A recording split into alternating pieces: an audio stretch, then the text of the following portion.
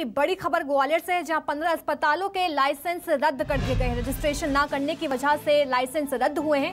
31 मार्च तक रजिस्ट्रेशन करने की आखिरी तारीख थी। सीएमएचओ मनीष शर्मा ने लाइसेंस निरस्त किए हैं। अस्पतालों को तत्काल बंद करने के निर्देश भी दे दिए गए हैं।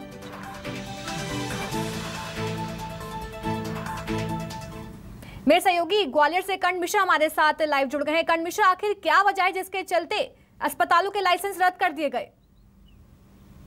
देखिए, बिल्कुल यदि हम समय सीमा की बात करते हैं तो हर वर्ष यानी इकतीस मार्च की तारीख तक जो है, जितने भी निजी अस्पताल संचालित होते हैं, उनको इनका नवीनीकरण यानी एक दोबारा से इसका पंजीयन के लिए अप्लाई करना होता है और नवीनीकरण फॉर्म को भर जो संबंधित जानकारियाँ और जो नियमावली है, उसको फुलफिल करना होता है।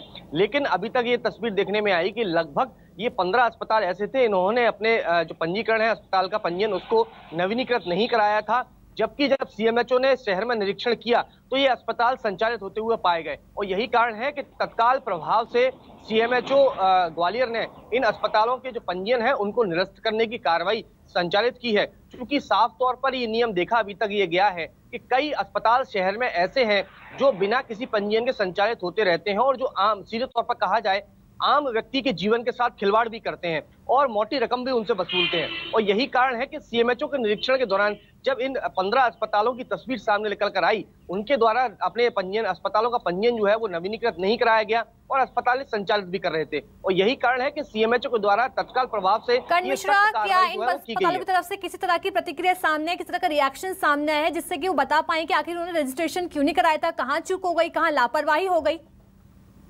देखिए, अभी तक इस प्रकार की कोई तस्वीर सामने तो नहीं आई है, लेकिन ग्वालियर के सीएमएचओ डॉक्टर मनीष शर्मा के द्वारा इन सभी को पत्राचार के ज़रिए जवाब तलब करने के लिए ज़रूर समय सीमा दी गई थी, दो दिन का वक्त दिया गया था। उसमें इनको अपना जवाब प्रस्तुत करना था और जो जवाब अस्पतालों की ओर से आए हैं, वो पूरी तरह से संतुष्टि वाले नहीं थे। और यही कारण है कि जो ग्वालियर के सीएमएचओ हैं, उनके द्वारा इस कार्रवाई को अंजाम दिया गया है। लेकिन सबसे मुख्य बात यह है कि अभी भी शहर के अंदर तमाम ऐसे निजी अस्पताल जो हैं, जो गली मोहल्लों में संचालित हो गए हैं और लोगों के साथ, जीवन के साथ खिलवाड़ भी कर रहे हैं। तो ऐसे में अब जो है स्वास्थ्य विभाग जो है वो पूरी तरह से अलर्ट हो चुका है और एक टीम जो गठित कर दी गई है, जो तमाम ऐसे अस्पतालों की खोजबीन कर उन पर ताले लगाने की शुरुआत कर चुकी है जी जी। बहुत बहुत शुक्रिया कर्ण, हमें तमाम जानकारी देने के लिए